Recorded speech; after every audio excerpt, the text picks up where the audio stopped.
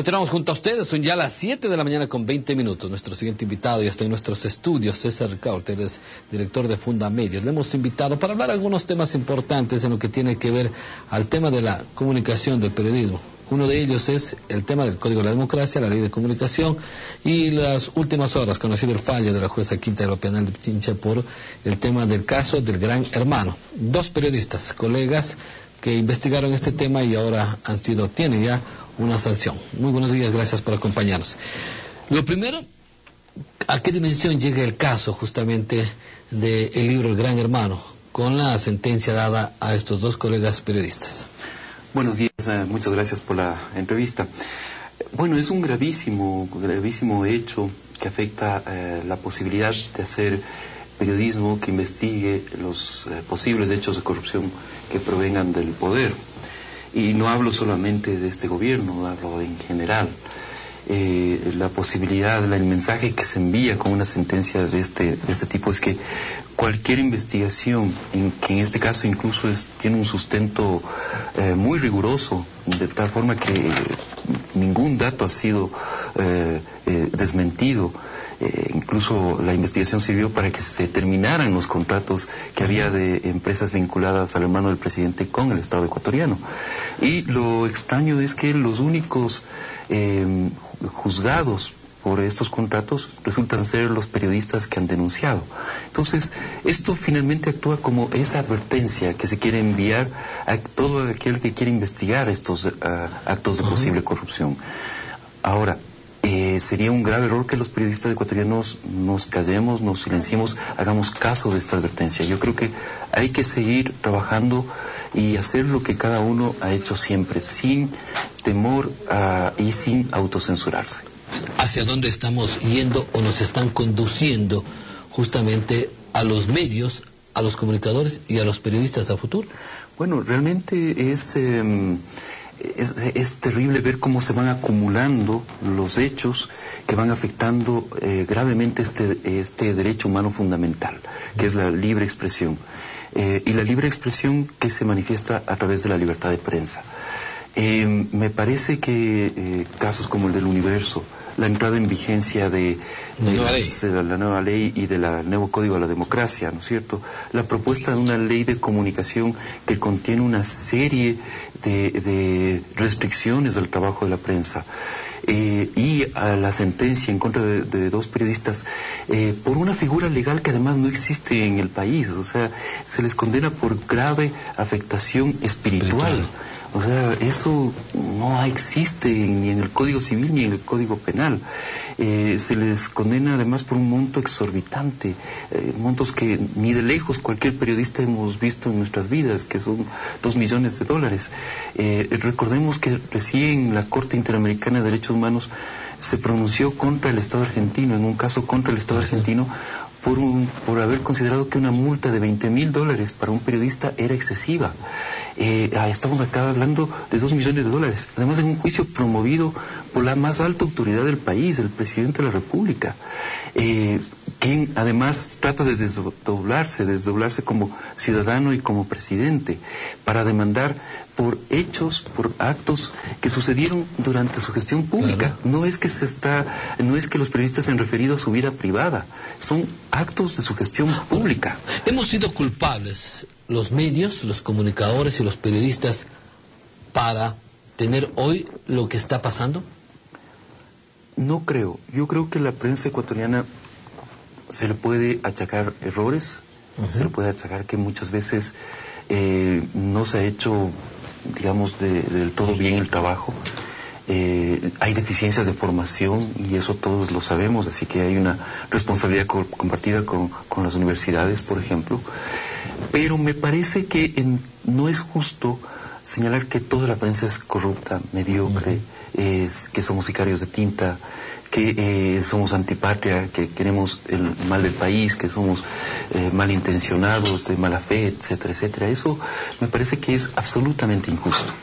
Me parece más bien que la mayoría de comunicadores tratan de hacer de la forma más honesta su trabajo, eh, que la, la, mayoría de medios de comunicación tratan de hacer lo mejor posible y de que evidentemente existen errores. No me parece que la solución para esos errores sea tratar de acabar con la libertad de expresión, con la libertad de prensa, con los medios de comunicación, con los periodistas, sino más bien incentivar a que cada vez se haga mejor el trabajo no es con palos, no es con cárcel, no es con multas millonarias que se va a mejorar el periodismo en el Ecuador. Pero sin embargo, dentro hay una ley de comunicación donde también busca ciertos artículos que van fuera del contexto de la ley, entre ellos el tema de la profesionalización. Queremos superar esta barrera que tenemos y nos quitan y les quitan el derecho a ciertos profesionales que hoy todos pueden ser periodistas. A ver, no creo que en ese punto no creo que la ley plantee que todos pueden ser periodistas. Lo que plantea es que el Estado no puede imponer una barrera, que es el título profesional, para ejercer este derecho fundamental de todos los seres humanos, que es la libertad de expresión. Eh, hay que partir de ese punto. Eh, entonces, en una ley no puede estar el tema de, eh, esa barrera, esa profesionalización.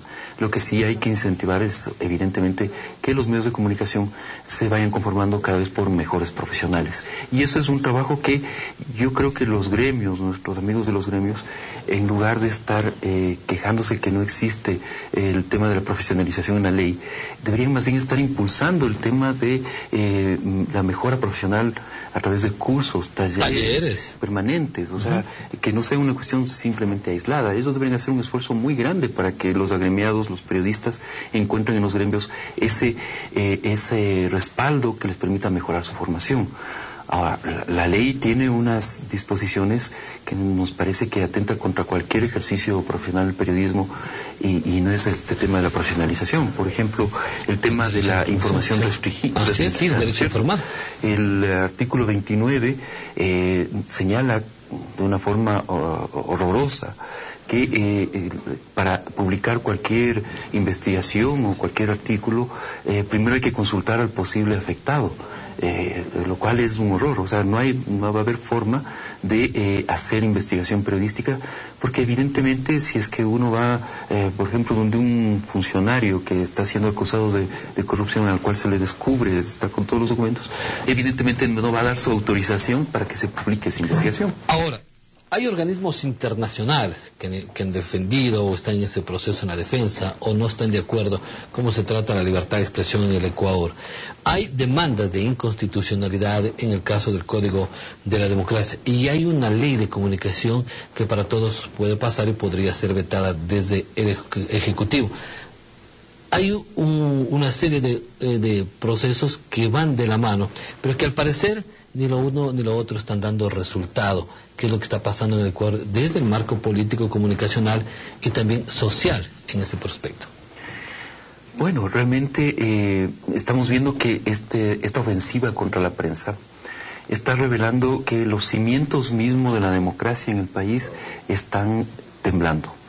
Eh, porque los tres cimientos, las tres patas que existen en una democracia, que es libertad de expresión, independencia del sistema judicial y elecciones libres están siendo de algún modo afectados. Sabemos que hay una ofensiva contra quienes ejercemos de forma profesional la libertad de expresión, que son los periodistas y los medios. Hay eh, revelaciones que indican que, que la justicia estaría siendo utilizada para perseguir a medios de comunicación y periodistas y hay eh, la afectación a las elecciones libres con este Código de la Democracia. Ahora, ¿qué esperamos? En el caso del Código de la Democracia, la Corte Constitucional tiene que pronunciarse de forma rápida. No, son siete demandas. Son siete demandas. Pero además recordemos que en demandas presentadas por la Presidencia de la República o por eh, ciudadanos pero que eh, son demandas a favor de funcionarios públicos, como el tema del Contralor de, que no debe renunciar para ser eh, reelegido, ¿no es cierto? En ese caso la Corte ha fallado en cinco días, en siete días, dictando medidas cautelares. Lo que esperamos los, los ciudadanos, quienes nos sentimos afectados gravemente en nuestros derechos por el código, por las reformas del Código de la Democracia, es que la Corte falle con la misma celeridad, de que la próxima semana tengamos ya una resolución en la cual se dicte las medidas cautelares y se suspenda la vigencia de estas normas hasta que se resuelva la constitucionalidad o no de esas normas. ¿Por qué los gobiernos, por qué los presidentes y por qué en este caso el Ejecutivo en contra de la prensa? Bueno, eh, sería una conversación muy larga, pero nosotros creemos que hay eh, dos factores. Un factor que es, eh, digamos, ideológico, que es un tema de que se considera la prensa como un enemigo, de que parte de estos poderes, lo cual no es del todo cierto. Y luego que en la coyuntura política, la, finalmente pelearse con la prensa y con los periodistas le ha dado buenos réditos al presidente eh, y es un enemigo poco costoso. Es decir, si, si realmente el, poder político, el gobierno, se quisiera pelear con los verdaderos poderes de este, de este país, eh, realmente sería muy costoso para ellos. Pero la prensa finalmente es alguien ah, que está ahí todos los días, todos los días estamos dando la cara. Y es fácil tirarles piedra a quien está dando la cara todos los días, ¿no? ¿Quién está ganando aquí en esto desde el punto de vista social? Eh, yo creo que nadie está ganando. ¿Y la está sociedad perdiendo, está perdiendo el país. Y están perdiendo los ciudadanos, que están viendo cómo sus derechos se afectan todos los días. Aunque muchos ciudadanos no se den cuenta, que estén eh, quizás felices eh, por la buena situación económica, porque pueden consumir, que digan, bueno, este tema de las libertades es solo un tema de los periodistas, no, me interesa. Pero finalmente, en algún momento le va a tocar. Y que, ojalá no sea demasiado tarde cuando los ciudadanos reaccionen por la limitación seria de sus derechos y libertades fundamentales. César, finalmente, ¿qué debemos hacer? ¿Cuál es el futuro que, nos, que se nos presenta? Y el presente, ¿cómo debemos vivirlo con todo lo que está pasando? Yo creo que sin temor y como dije al principio, los periodistas tenemos que seguir haciendo nuestro trabajo, cumpliendo el sagrado deber que tenemos que es informar a los ciudadanos, que es expresar nuestras opiniones, lo que pensamos legítimamente sobre lo que es la realidad de nuestro país.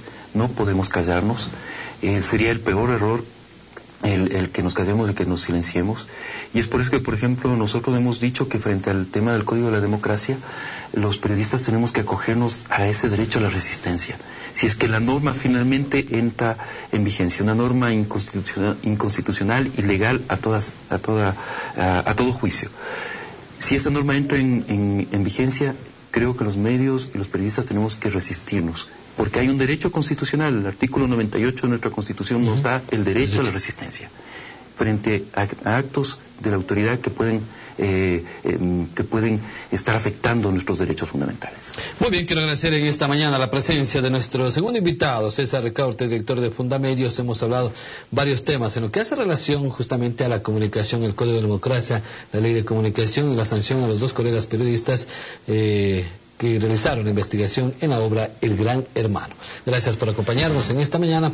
Vamos